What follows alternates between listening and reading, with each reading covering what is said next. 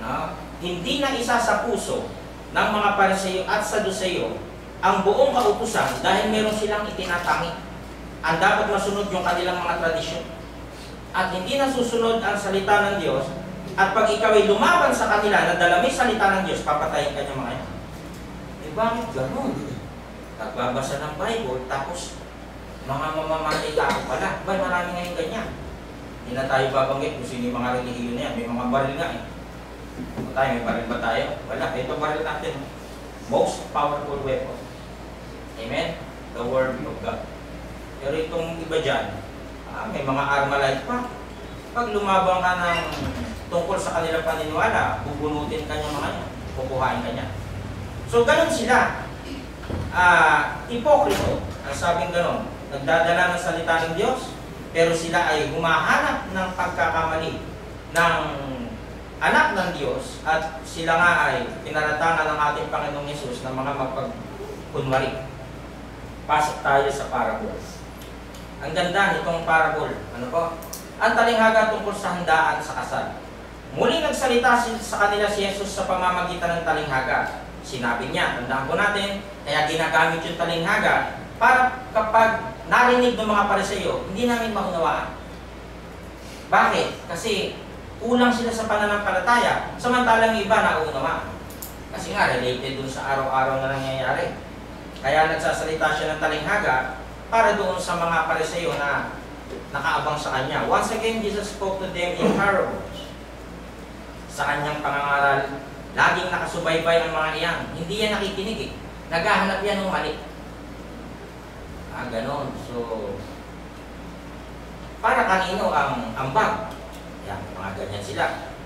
Kay Cesar o sa Diyos? Di ba? Ah, ganon. Ganon sila, hindi, wala silang pakialam sa katotohanan. Dahil nasasagasaan yung kanilang belief tungkol dun sa law of Moses.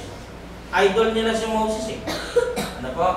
Yun ang dala-dala nila. So sa kanyang pangangarag, ganyan sila. Ang ating Panginoong Yesus ay sinusubaybayan nila. Mateo 22.2 Ang paghahari ng Diyos ay maitutulad sa kwentong ito. May isang hari na naghahanda ng salo-salo para sa kasal ng kanyang anak na lalaki. The kingdom of heaven is like a king who prepared a wedding banquet for his son. Sinubo niya ang kanyang mga alipin. So, tingnan po natin. Ah, dito muna tayo sa sakyan natin yung sinasabi ng talata.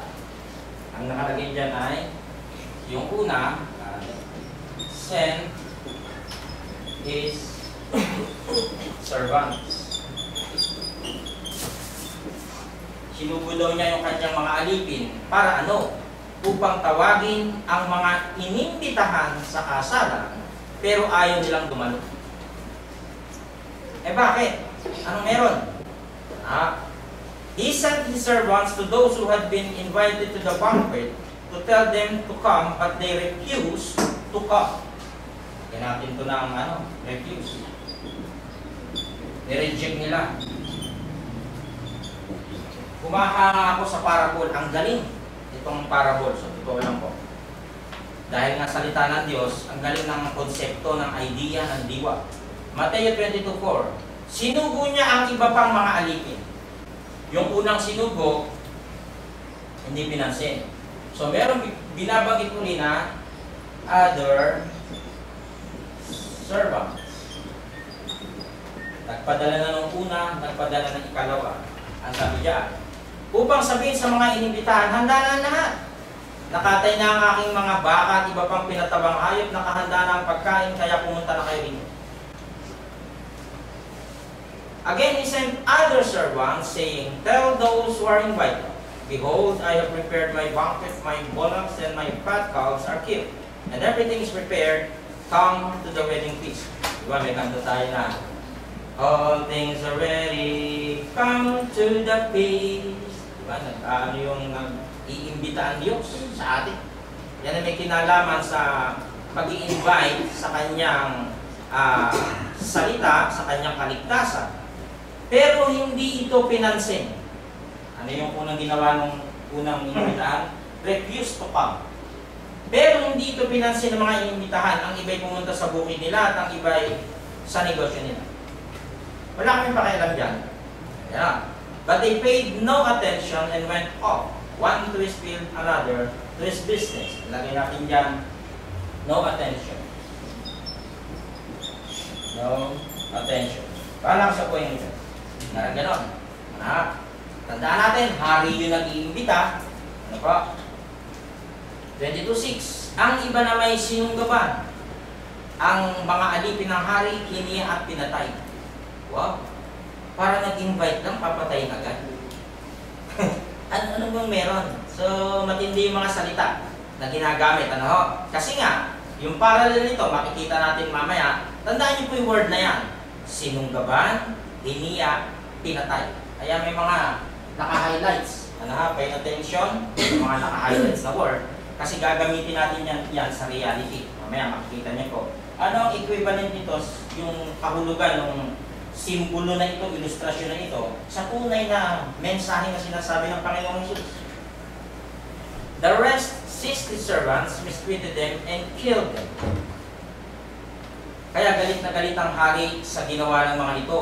Inutusan niya ang kanyang mga sundalo na patayin ang mga pumatay sa kanyang mga alipin at sundin ang lungsod ng mga ito.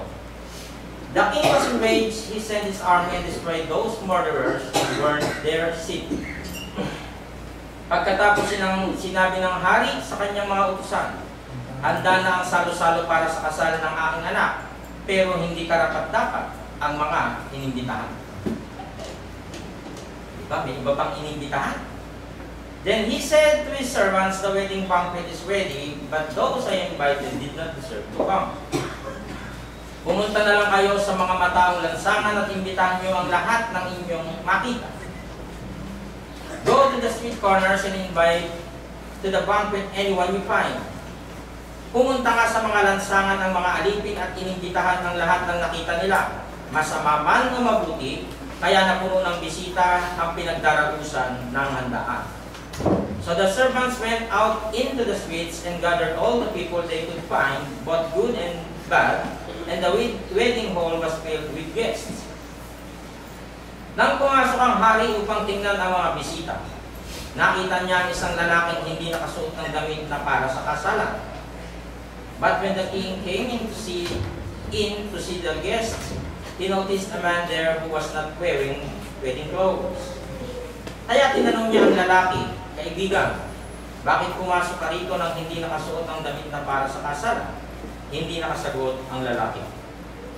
Friend, he asked, How did you get in where in here without wedding clothes? The man was speechless. Kaya sinabi ng hari sa kanyang mga utusan, Wala. Maselan ko kasi pag na ano ng konti. Talian ninyo ang mga kamay at paa niya at itapon sa dilim doon sa labas doon na iiyak siya at magngangalit ang kanyang ngipin. Pag ginawa mong literal, para nagkamali lang ng sukat at tatapon agad sa labas. Dahil hindi lang ako naka-uniform. Pag ginawa mong literal. Ano po, eh, figuratibo nga ito eh. So, wag uunawain literal kasi malalim ang kahulugan niya. Then said the king to the servants, Bind him and, and put and take him away, and cast him into outer darkness, there shall be weeping and gnashing of teeth. Yan, nagalit yung hari, pinalabas. Ano? Pagkatapos sinabi ni Jesus, marami ang tinatawag ng Diyos na mapabilang sa kanyang kaharian. Ngunit kakaunti ang pinili. Ano ang nakatagong meaning nito? Many are told but few are chosen. Ayon sa Matthew 22:14. Doon na tayo ngayon sa interpretasyon. Ano ang aral sa buhay at ano ang mensahe nito para sa mga tagasunod ni Jesus?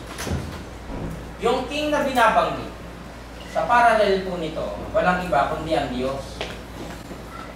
Yan yung hari. Ano? Na nag-i-invite. Isinugo niya yan. Yung una niyang isinugo propeta. Di ba pinagpapatay ito? Sabi ko po kanina, tandaan niyo yung nakasulat doon. Sumunod mga apostles. Yung tinatawag niya na son, yung inaayos niya yung kasal ng kanyang anak, walang iba kundi si Jesus Christ. Yun, ito yung meaning ng tandahan.